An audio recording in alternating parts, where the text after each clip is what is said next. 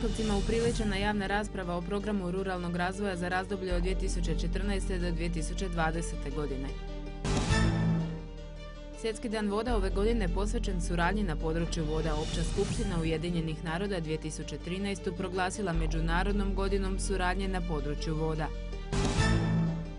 U Vukovaru tribina o legalizaciji kao da im nije bilo dovoljno, Vukovarci će na određeni način ispaštati i u procesu legalizacije. Mnogima dokumentacija je izgubljena tijekom razaranja i progonstva.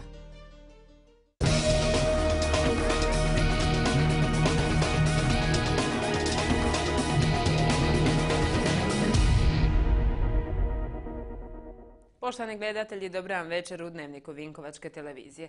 Hrvatski sabor danas je većinom glasova donio novi zakon o poljoprivrednom zemljištu. Iako su mnogi njime nezadovoljni, očito kritikama nisu uspjeli utjecati na izmjene, nego će mu se poljoprivrednici morati prilagoditi. A u nadolazećem razdoblju valja im misliti o daljem razvoju kako same poljoprivrede, tako i općenito ruralnog razvoja. U suradnji sa Županijskim upravnim odjelom za poljoprivredu, šumarstvo i ruralni razvoj, Ministarstvo poljoprivrede u Vinkovcima je organiziralo javnu raspravu o programu ruralnog razvoja za razdoblje od 2014. do 2020. Na javnoj raspravi o mogućnostima koje pruža novi program za naredno šestogodišnje razdoblje, a koji bi trebao biti na vladi usvojen do kraja godine, prezentirane su sve mjere koje se nalaze unutar šest prioriteta koje je definirala Europska unija. Današnja javna rasprava će poslužiti Ministarstvu poljoprivrede e, kao jedna smjernica kako bi se te mjere i e, dalje razvile, odnosno kako bi u budućem razdoblju 2014. 2020. godine Republika Hrvatska, odnosno ruralni prostor Republike Hrvatske mogao povući što više sredstava iz fondova Europske unije. U dosadašnjoj službenoj politici Unije postojala su ukupno četiri prioriteta kroz koje se naglasak stavljao na poboljšanje tržišne učinkovitosti, provedbu poljoprivredno-okolišnih mjera, razvoj ruralne ekonomije te usvajanje i prijenos znanja i vještina. Novo razdoblje donosi i nove, bolje rečeno redefinirane prioritete. Lider pristup je zastupljen kroz prioritet 6 i jedan od naglasaka je kroz novi prioritet je e, klimatske promjene, odnosno redukcija ugljičnog dioksida, znači u tom dijelu se vodi briga o, o okolišu. Osim poljoprivrednih gospodarstava, korisnici ovih mjera moći će biti i jedinice regionalne i lokalne samouprave, lokalne akcijske grupe, ali po novom i udruge i javne ustanove, te korisnici iz šumarske djelatnosti. Sve navedeno ide s ciljem održivog razvoja sela što je prijeko potrebno ovom kraju predavanje ide za tim da ruralni razvoj ne samo zaustavi odljev stanovništva sa ruralnog prostora, nego čak i da privuče ljude u prostor pa se financiraju neke mjere koje nisu čista seoska ekonomija, ali mogu biti usluge u ruralnom prostoru od onih koje su bitne. Recimo vulkanizera u zelu nigdje nema, nego svi vozimo u gume do prvog grada. Osim navedenog primjera kroz prioritete, odnosno mjere, između ostalog nudi se i mogućnost preuzimanja posrnule farme uz određeni oblik državne pomoći. No da bi sve upravo ovakvo i bilo, potrebno je da vlada usvoji ovaj program ruralnog razvoja koji će u konačnici biti poslan Europskoj komisiji na odobravanje. Svjetski dan voda ove godine posvećen suradnji na području voda jer je Opća skupština Ujedinjenih naroda 2013. proglasila Međunarodnom godinom suradnje na području voda. Cilj Međunarodne godine je, kako ističu u Hrvatskim vodama, podignuti svijest o potencijalu za jačom suradnjom i izazovima s kojima se suočava vodno gospodarstvo u svjetlu povećane potražnje za pristupom vodi, dodjelom vode i vodnim uslugama. Suradnja na području vode presudna je za očuvanje vodnih resursa i zaštitu okoliša, ključna za sigurnost, iskorjenjivanje siromaštva, socijalnu pravednost i jednakost spolova, donosi ekonomsku korist te gradi mir, istaknuto je. Hrvatska se ubraja u skupinu zemalja relativno bogatih vodom u kojoj problemi s vodom i oko vode nisu zaoštreni i vodni resursi za sad nisu ograničavajući čimbenik razvoja. Prema istraživanjima UNESCO-a iz 2003. Hrvatska je prema dostupnosti i bogatstvu vodnih izvora na vrlo visokom petom mjestu u Europi, a na 42. u svijetu. Putem manifestacija, okruglih stolova, izložbi, akcija čišćenja i drugih aktivnosti upozoravaju na potrebu jačanja suradnje i podizanja svijesti o zaštiti vodnog resursa.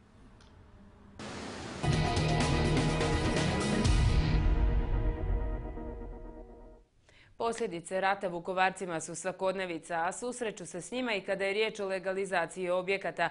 Govora o tomu bilo je na sinoćnoj tribini kojoj je nazočila ministrica graditeljstva i prostornog uređenja Anka Mrak-Taritaš.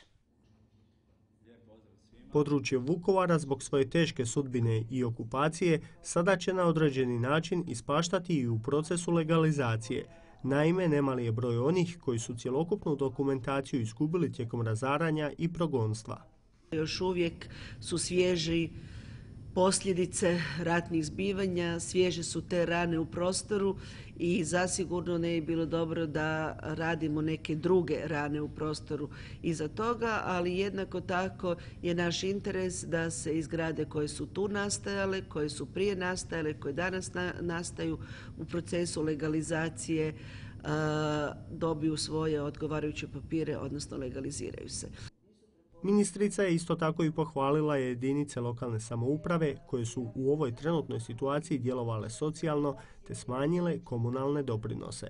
Tako su, naglašava ministrica, osim građanima, pomogli i samom procesu brže i efikasnije legalizacije, ali i većim stabilnim prihodima u budućnosti na osnovu količine, a ne cijene.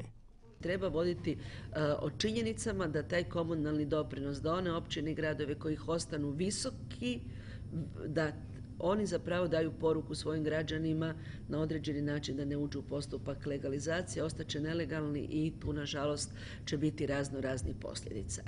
Za postupak legalizacije građani će gradskoj upravi u Vukovaru, kako sada stvari stoje, trebati izdvojiti od 20 do 80 kuna po metru kubnom. Zasigurno nije dobro da Vukovar, ja bih rekla čak možda i tvrdoglavo, inzistira na iznosu komunalne, komunalnog doprinosa kakav je on danas. Prema riječima ministrice, ovo je uistinu pravi trenutak kada se moraju i racionalizirati prihodi gradova i općina, kako bi zadovoljni bili vlasnici objekata, jedinice lokalne samouprave te u konačnici i država. Đakovačko-osječki nadbiskup, monsignor dr. Marin Srakić, susreo se s djelatnicima u stranačkom i političkom životu s područja Đakovačko-osječke nadbiskupije. Podsjetio ih je među ostalim na poruke novoizabranog pape Franje. Upriličeno je i izlaganje o kontroli kvalitete u hrvatskim turističkim destinacijama, odnosno o rezultatima istraživanja provedenog od 2007. do 2012. godine i pripremama za strukturne fondove Europske unije. Kroz izlaganje predstavljen je i projekt Jako selo. Sudjelujući u radu skupa dio političara ukazao je na slabosti sustava, odnosno za postavljenost, birokraciju, neujednačeni razvoj istoka, na centralizaciju, izostanak sustavne brige o ruralnim krajevima, ali i na nejedinstvo slavonskih političara. Sukladno tomu, nadbiskup Srakić pozvao ih je na zajedničko djelovanje.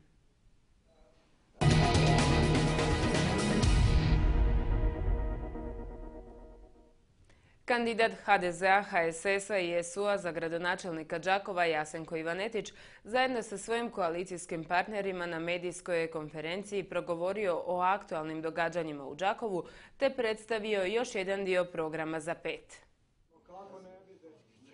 Na medijskoj konferenciji kandidat za gradonačelnika Đakova Jasenko Ivanetić iznio je nekoliko pitanja koja bi se mogla postaviti sadašnjem prvom čovjeku grada Zoranu Vinkoviću.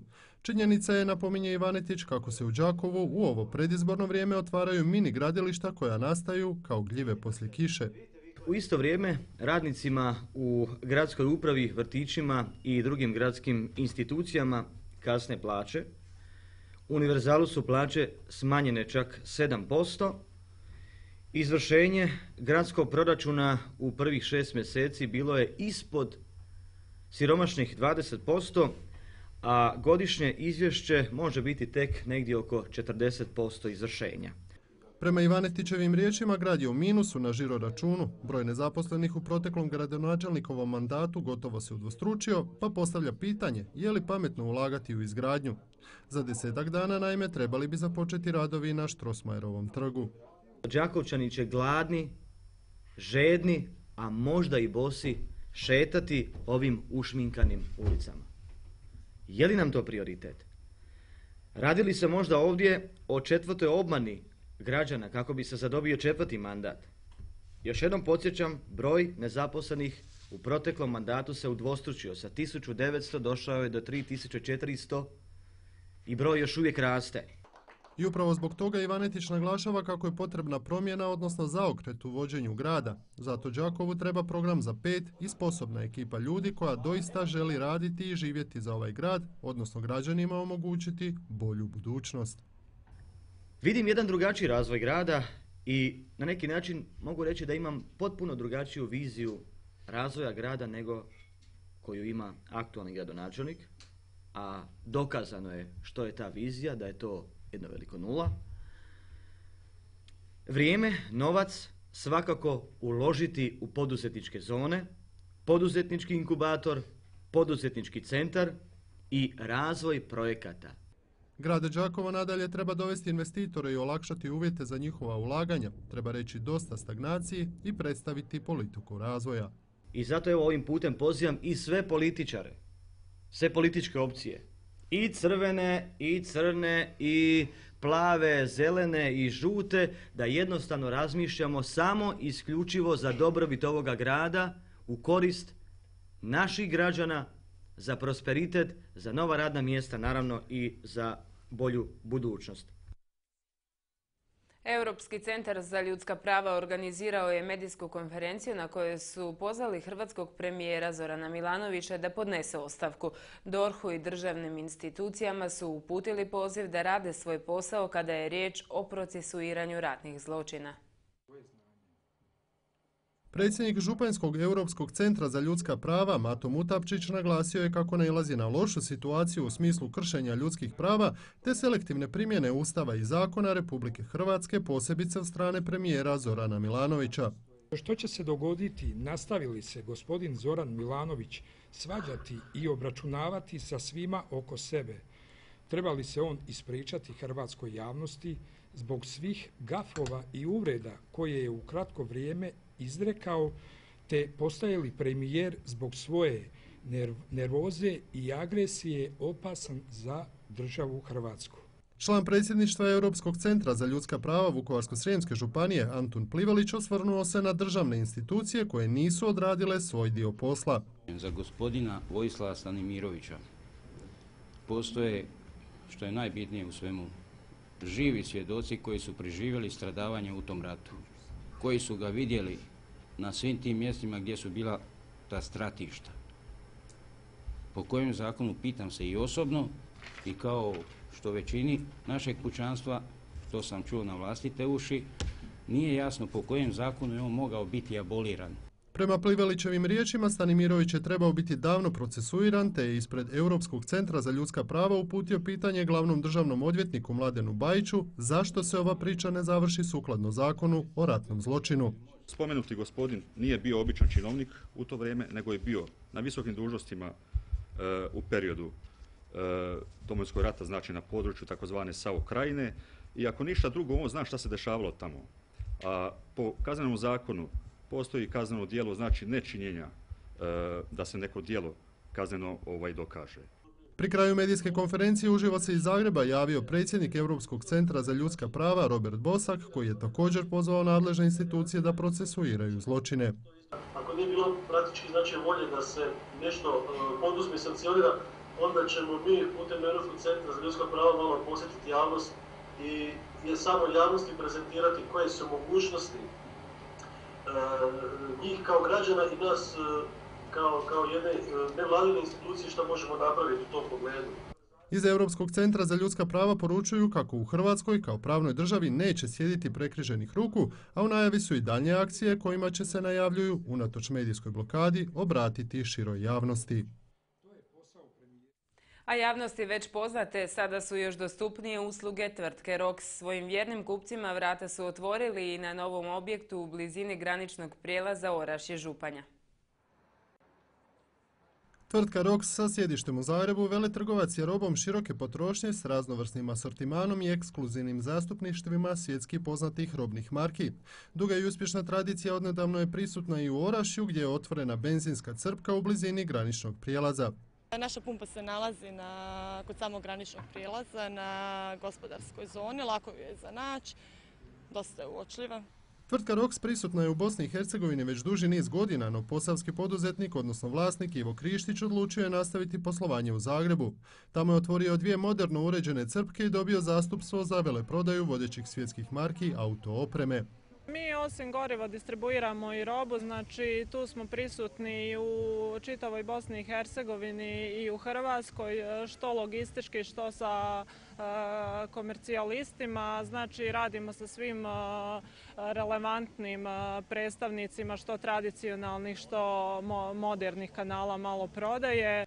U ponudi tvrtke ROX nalazi se veliki broj poznatih proizvođača, a otvaranjem crpke u Orašiju, koja je četvrta po redu na području regije, proizvodi će biti dostupniji u ovom dijelu Hrvatske i Bosne i Hercegovine. Zastupamo brendove kao što su VD40, Wunderbaum, STP, Armorol, Copperton, znači to su sve premium svjetski brendovi u svom segmentu. Također imamo jako zastupljene i privatne robne marke u segmentu vrta, kupaonice, kuhinje i igrački.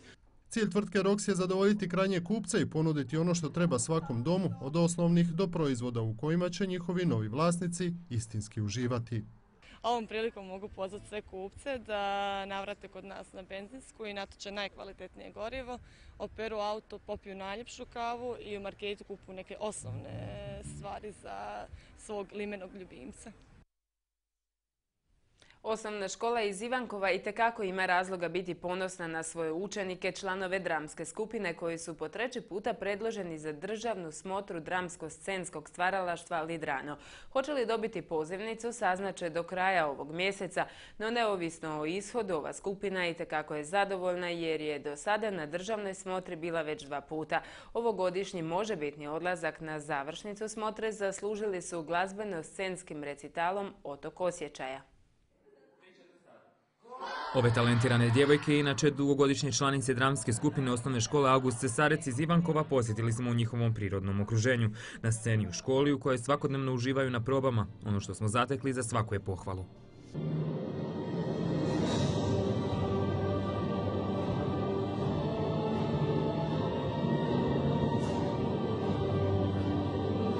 Dio je ovog glazbeno-scenskog recitala od tog osjećaja kojima su talentirane djevojke se predstavile na ovogodišnjoj smotri Drano, a sve pod budnim okom mentorice Andrijane Raguž. Upravo je ona zaslužna za okupljanje velikog broja zaljubljenika u glum. Dramska skupina naše škole broji oko 30 članova. To su učenici od prvog do osmog razreda. E, ono što je najvažnije e, reći da smo dva puta bili na e, državnom Lidranu. E, inače smo stalni sudionici Ledrana, e, četiri puta smo sudjelovali, u stvari pardon, pet puta. Od toga smo dva puta predloženi, dva puta smo otišli na Ledrano i ovaj, e, ove godine smo također predloženi za državni Ledrano. Sve zahvaljujući u prizorenju narodne priče o spašavanju ljubavi stonućeg otoka, no doživljaj teksta ne bi bio potpun bez odlične izvedbe oplemenjene maštovitom koreografijom koju je pratila i zanimljiva glazba. Cijelokupnoj ekipi bilo je zadovoljstvo raditi na ovoj predstavi. Mi smo zajedno stvarali koreografiju, puno nam, puno nam je pomogla nastavnica i znači jako je teško bilo, ali na kraju je to sve dobro ispalo. Iako zadovoljstveno kad kada naporno, probe za ovaj scenski komad znali su trajati istaknuli su učenici do 5 sati, no svjesni su onoga što su na koncu dobili, odličnu predstavu nabijenu emocijama. Ovaj nekako posebno ističe se i puna je znači svega i ovaj, uvijek sam htjela toliko plesati i znači sve je to cjelokupno nekako super. A glavna poruka predstave je? Ljubav je uvijek tu za nas i da bilo koliko kad vremena prođe ona će uvijek biti tu i da je uvijek u našem srcu. Jedino je vrijeme sposobno da spozna koliko je ljubav velika. S mladim nadama iz Ivankova stigli smo do kraja dnevnika. Što se još osim toliko iščekivane, kako je nazivaju utakmice desetljeća, događalo u sportu, doznajte odmah nakon odjave. Zatim ostanite uz željoteku. Hvala vam za pozornost i ugodna večer.